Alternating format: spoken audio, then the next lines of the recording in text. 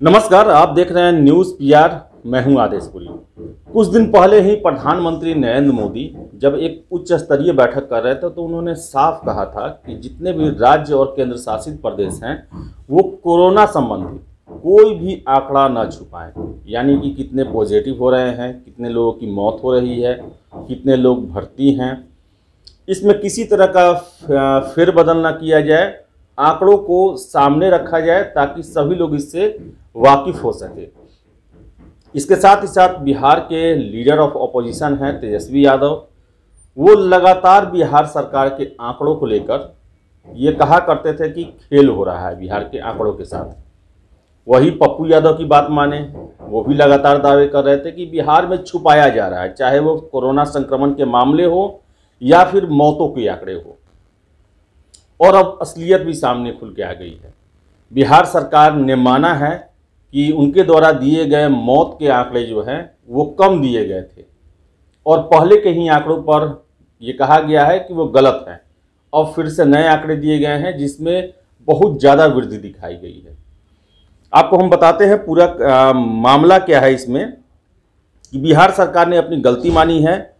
चौवन सौ चौबीस नहीं, तिरानवे सौ पचहत्तर लोगों की मौत हुई है कोरोना के चलते। कोरोना की दूसरी लहर के दौरान बिहार में मौतों के आंकड़ों पर लगातार सवाल उठ रहे हैं। खुद पटना हाईकोर्ट ने कई बार सरकार को आंकड़ों में भारी अंतर को लेकर लताड़ भी लगाई है।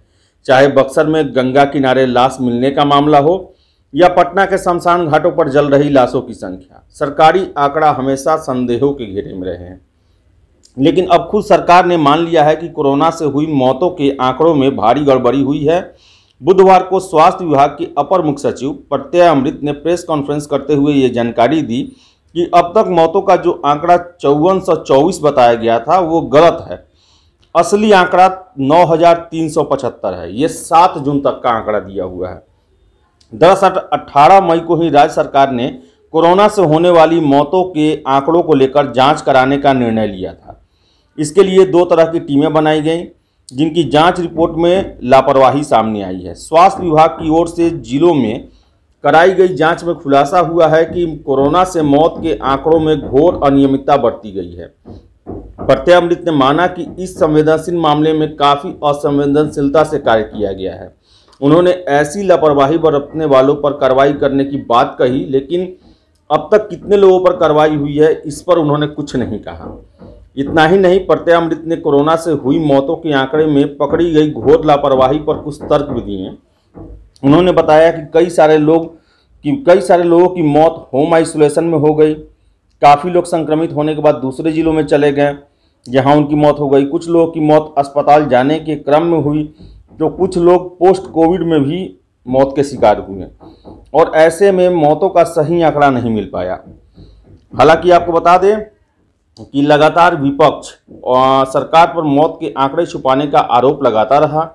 सरकार ने मौत के आंकड़ों में सुधार किया है, लेकिन दावा है कि बिहार के ग्रामीण इलाकों में ऐसे अनगिनत लोगों की मौत हुई जिन्हें कोरोना के लक्षण तो थे, लेकिन उन्होंने कोरोना की जाँच नहीं कराई। इसलिए वो सरकारी आंकड़ों में अभी तक जगह नहीं बना पाए हैं। तो आपको बता दें कि सरकार ही खुद मान रही है कि हाँ हमारा दिया गया पहले का आंकड़ा गलत था, क्योंकि तर्क भी दिया गया है इसमें, और तर्क वो एक हद तक सही भी है कि बहुत सारे लोग होम आइसोलेशन में ही मर गए। बहुत सारे लोग जो हैं एक ज़िले से दूसरे ज़िले में गए। बहुत सारे लोग जो हैं वो हॉस्पिटल जाने के क्रम में ही दम तोड़ दिए। तो ग्रामीण इलाके अभी तक अछूता हैं। आखिर ग्रामीण इलाकों में भी कि हम जानते हैं कि लोग वैक्सीनेशन नहीं करवा रहे हैं तो फिर जाँच कराने की बात ही नहीं होती है। और इस कारण भी वो उनकी मौत हुई है और अभी तक जो है उसके बारे में कोई सटीक जानकारी नहीं मिल पाई है। वही अगर हम बात करें बिहार के ही नेता हैं पप्पू यादव फ़िलहाल अभी जेल में हैं पिछले बत्तीस साल पुराने मामलों को लेकर और लगातार वो कोरोना के दौरान एक्टिव भी रहे।